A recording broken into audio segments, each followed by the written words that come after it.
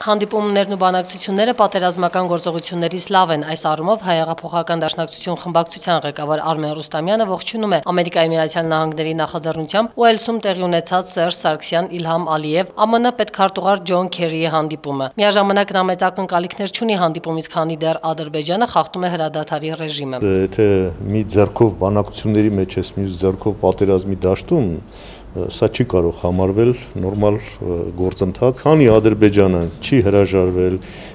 այն մոտեցումներից, որ ունի եւ չի հասկացել, որ ուղակի պետք է հարգել Արցախի ժողովրդի ինքնորոշման իրավունքը, այստեղից սկսում է բոլոր խնդիրները։ Հանդիպումից հետո պետքարտուղար Քերին իր մտահոգությունն է հայտնել շփման գծում տեղի ունեցող բախումների համար։ Նա հորդորել է կողմերին խստորեն պահպանել հրադադարի ռեժիմը եւ հավելյալ քայլեր ձեռնարկել իրեն ժողովուրդներին խաղաղության նախապատրաստելու համար։ Արմեն Ռուստամյանը վստահ է, մեր զինվորները ստիպեցին Ամերիկայի Միացյալ Նահանգներին եւ Ռուսաստանին նստել բանակցային սեղանի շուրջ, այն բանից հետո, երբ պատվով հետ մղեցին ադրբեջանցիներին եւ կանխեցին նրանց դիվերսիոն հարձակումները։ Հույսներս դնենք կամ Ռուսաստան կամ Ամերիկա կամ մյուսների վրա դա սխալ տեղ է տանում։ Մենք մեր ուժը մեր մեջ պիտի փնտրենք եւ թե ուզում ես խաղաղություն, պիտի պատրաստես պատերազմի։ Հայաստանի Հանրապետական կուսակցության падգամավոր Խոսրով Հարությունյանի կարծիքով արդյունավետ էր ինչպես Վլադիմիր Պուտինի, այնպես էլ Ջոն Քերիի հետ երակողմ հանդիպումները։ Ըստ նրա, միգուցե սա այն բացառիկ դեպքերից է, երբ կարգավորման բոլոր մասնակիցները բացառությամբ մեկից Ադրբեջանից գտնում են, որ կոնֆլիկտի խաղաղ կարգավորումը այլընտրանք չունի։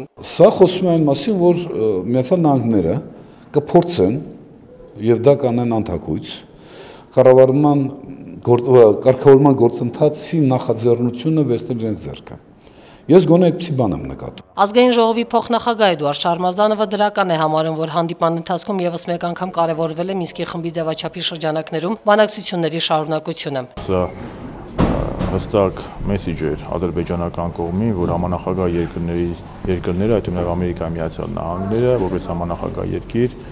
չեն ընդունում բացի խաղաղ կարգավորումից այլ տարբերակ։ Սա կարծում եմ միջոց է հանդիպումը, որտեղ պետք է կարողանաս